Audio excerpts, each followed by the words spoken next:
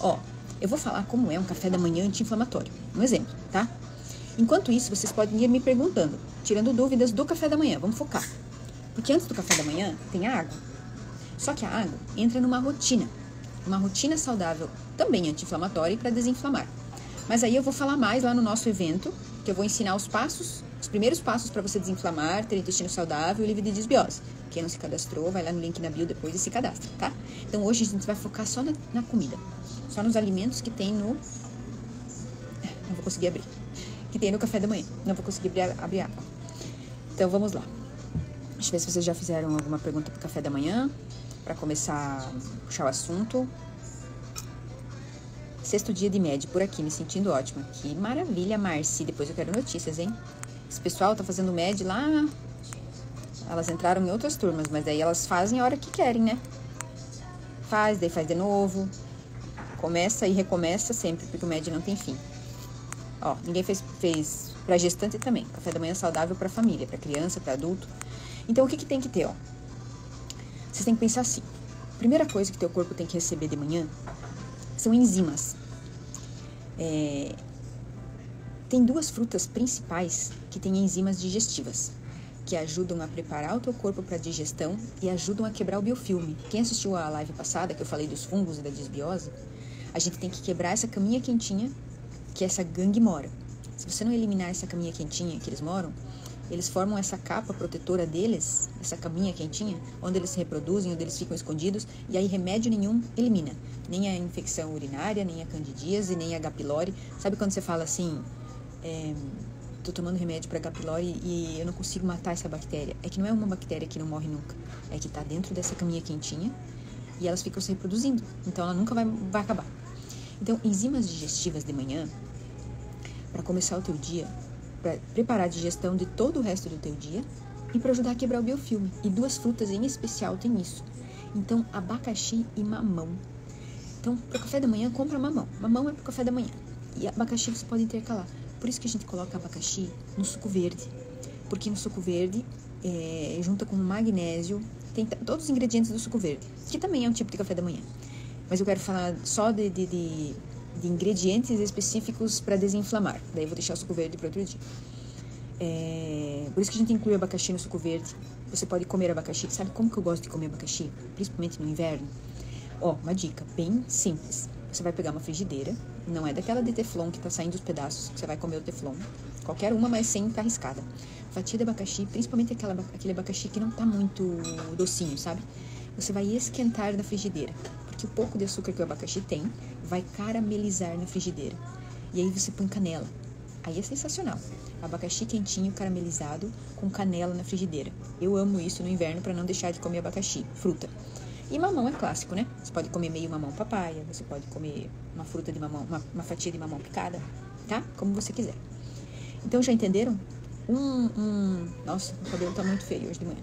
Então vocês entenderam que no café da manhã anti-inflamatório tem que ter uma fruta com enzimas digestivas. Combinado? Combinado. Água, água morna, limão, shot. Isso eu vou ensinar na rotina, que eu vou falar para vocês lá no lá no nosso evento SOS Desinflamação, tá? Não vai, porque você vai aquecer levemente, você não vai fritar, torrar, assar. Tem um grau de temperatura e tempo. Então é bem, bem rapidinho, tá? É só para aquecer. É, uma coisa que vocês têm que parar de fazer, ó, é tipo assim, a aveia tem agrotóxico, que eu vou falar dela, mas já vou falar agora para pegar o gancho da fruta. A aveia tem agrotóxico, a aveia tem a, a avenina, a vidina, ai, a aveia tem antinutriente, o feijão também tem, o arroz também tem arsênico, tudo tem um, um contra. Aí se a gente pensar assim, não sobra nada mesmo para comer. Só que aí, ao mesmo tempo que a gente tem medo de comer aveia, no final de semana a gente comeu sorvete, pizza, cerveja, sabe? E você não vai comer um pacote de aveia todo dia. Você vai comer uma colher de sopa. Uma colher de sopa. Então, às vezes a gente acha artifícios pra gente não comer saudável. Porque a gente quer comer as outras coisas. Simples assim. Então, vamos lá, fruta. Agora você tem que incluir uma proteína no teu café da manhã. Ovos é a melhor saída. Qual a outra fonte de proteína no café da manhã? O café da manhã é seu, você come o que você quiser, na sua casa, onde você quiser. Então pode ser ovos, pode ser carne, carne moída refogadinha que você fez no jantar, eu já comi. Eu vou ensinar como que eu faço meu, meu ovinho mexido, minha panquequinha e coloco uma carne moída que eu fiz ontem à noite, no jantar. Tem que ter uma proteína que você acha que combina. Não, eu não consigo comer esses salgados de manhã, eu não consigo comer ovo mexido, nem cozido, nem nada. Não consigo. Então você tem que comer uma proteína em pó. Uma, eu não indico whey, whey hidrolisado, isolado, que é derivado do soro do leite. Então pode ser um whey vegano, que a gente chama né, de whey vegano, mas é uma proteína isolada dos vegetais, não da soja. Ou o, o, o colágeno, colágeno, peptídeo de colágeno, que a biodisponibilidade é muito grande e é excelente para quem tem síndrome do intestino irritável, que é disbiose, quem tem qualquer problema no intestino, sensibilidade. Então, o colágeno é uma proteína bem especial. Esse colágeno especial, peptídeos de colágeno. E tem um até que eu sempre tomo, que eu mostro, que eu sempre mostro porque eu tomo, ele é colágeno com creatina. Aí você já vai ajudar o teu cérebro, vai manter a massa muscular. Se você treinar bastante, ajuda a aumentar, se não só mantém mesmo. E o colágeno é a tua fonte de proteína. Eu já vou dar um exemplo de como montar o café da manhã.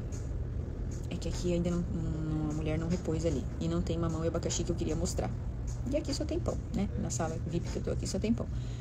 Então não tem as coisas para eu mostrar. Então você tem que ter a proteína. Ou ovo, qualquer tipo que você queira fazer o ovo, ou a proteína do colágeno que eu indico. O que vocês têm que pensar é assim, ó. Eu não gosto do cheiro do ovo. Então faz ele cozido. Ah, eu não gosto. Então faz ele mexido. Não mexe demais. Não esquenta demais. Se você esquentar demais o omelete, o ovo mexido, vai dar cheiro de ovo. Então é bem rapidinho, só até a gema cozinhar você desliga.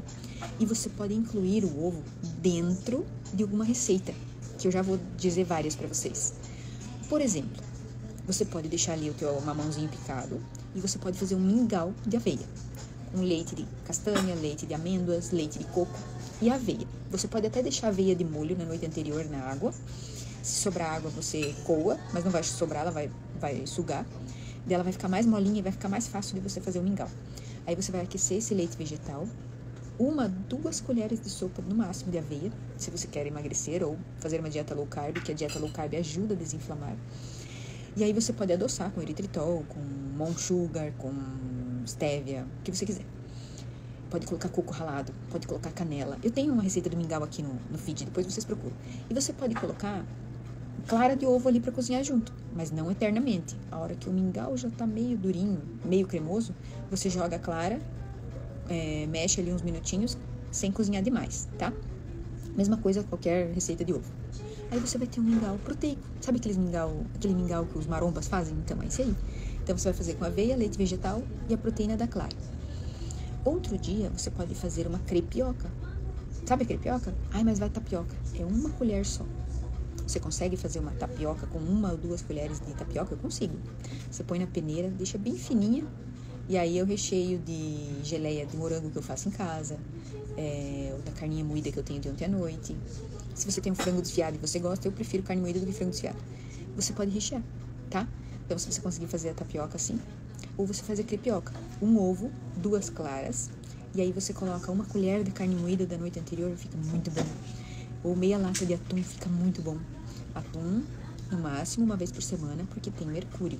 Atum na lata, tá bom?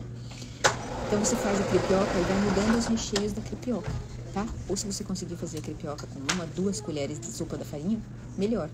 Porque duas colheres de sopa da tapioca valem uma fatia de pão, sabia? A quantidade de carboidrato. Então não vai exagerar trocar o pão pela tapioca para emagrecer, por exemplo, porque não vai funcionar. E todas as farinhas, tapioca, polvilho, farinha de arroz, todas terão também micotoxinas e fungos. Vamos deixar de comer? Não, mas menor quantidade. Entenderam? Fruta com enzimas, proteína. Por que proteína no café da manhã? Para não elevar muito o pico de açúcar no sangue da fruta e da, do carboidrato que você vai comer junto carboidrato maior, da aveia, da tapioca, do pão sem glúten. Claro que pode comer um pão sem glúten. O importante é não comer sempre a mesma coisa. Um pão sem glúten vai ter muito mais carboidrato do que o dia que você comer uma omelete e a fruta. Vocês estão entendendo?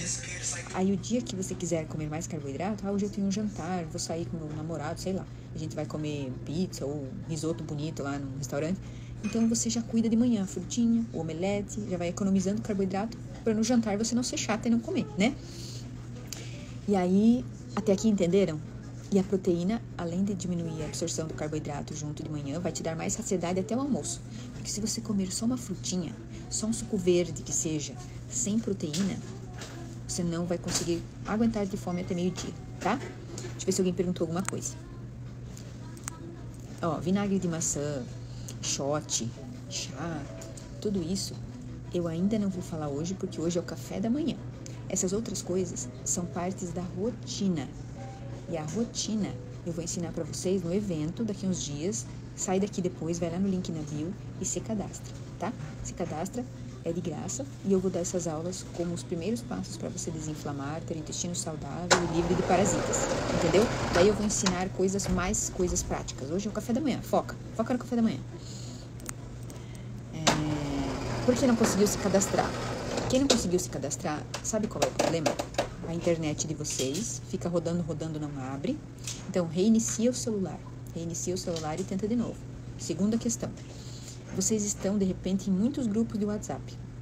E aí vocês não conseguem, nessa etapa de entrar no grupo, é, dar erro. E o grupo do WhatsApp eu não vou ficar mandando nada, não. Eu vou mandar só um recado, que dia que vai ser a aula, o link para vocês clicarem. E se eu tiver algum material que a gente está preparando, eu vou mandar ali. Não vou ficar conversando, ninguém vai conversar nada, tá?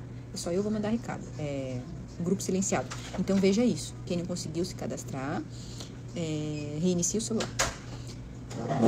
É, bebo água e depois vou tomando Guardian. Tive que fazer 10 dias de antibiótico da inflamação causada pela mordida de um cachorro. Olha só, é mesmo? Tá? Então, ó, é, depois no evento eu vou te ensinar como você desinflamar, como você eliminar parasitas. Você tomou, claro, tudo que precisava, né?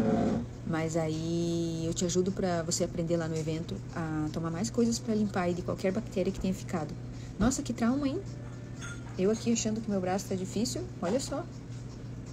morro de medo de cachorro.